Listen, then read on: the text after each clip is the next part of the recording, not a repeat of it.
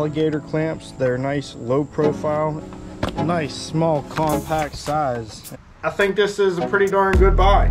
It, all right, it's registered that it's got batteries, so we got 13.1 volts. Welcome back everyone, I'm Red Zero 2. Today we're going to be doing some reviews. I'd like to thank today's video sponsor of Lokithor. They went ahead and sent out me sent me out two of their products to test out, review, do a durability test, and let you guys guys know what I think of them. And then we have the J3250, which is their newest product. So let's go ahead and test these out. Nice small compact size, and this is what it looks like whenever you open up the J3250. It's a 30 3250 amp LiPo 4 battery pack. So this has a, not just a LiPo battery, it has the more advanced battery. So it's supposed to work in last a lot longer and it is also supposed to uh, work in a lot more extreme temperatures. So you get your charging cables and then the jumper cables.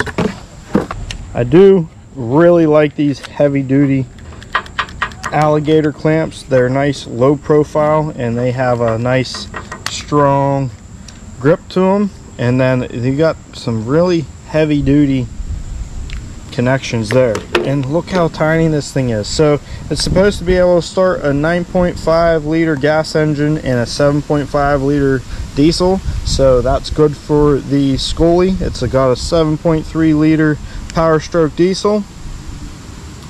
So currently draining the battery in the bus and we're to try them try it out. Once again went ahead and uh, killed the battery on the bus on purpose.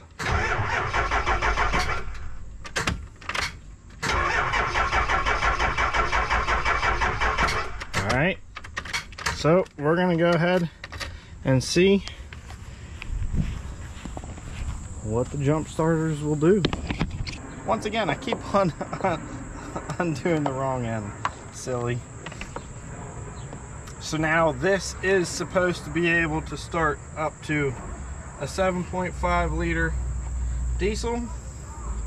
So we'll hook this up the same exact way since it worked out on the AW401.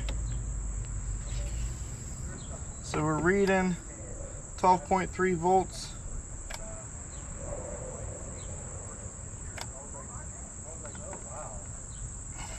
let's try it out. I'm gonna let the glow plugs run, see it drop down in voltage, wait for the glow plugs to go off, kicked up to more volts.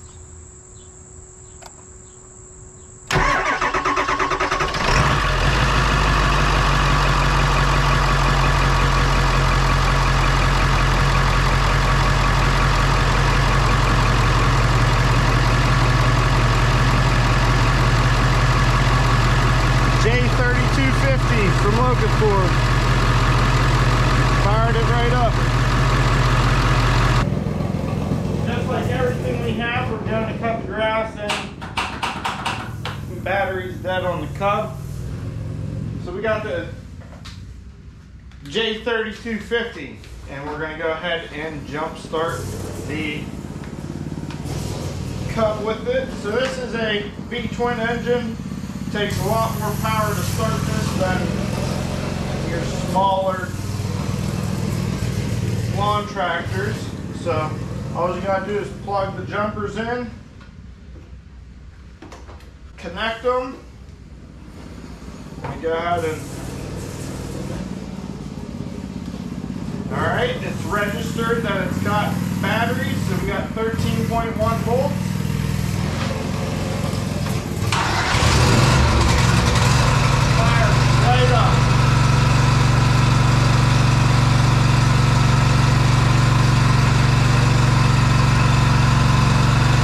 We have another completely dead tractor here without a battery in it. And the best thing a jump starter can do is to be able to start a vehicle just by jumping the starter like this.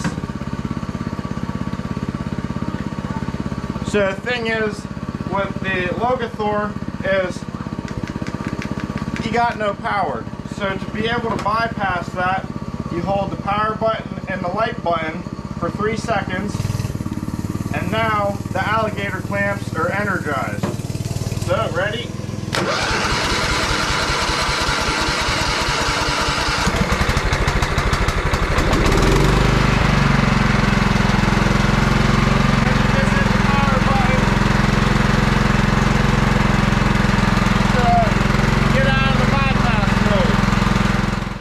Alright guys, the Lokithor J3250 can jump start up to a 9.5 liter and a 7.5 liter diesel.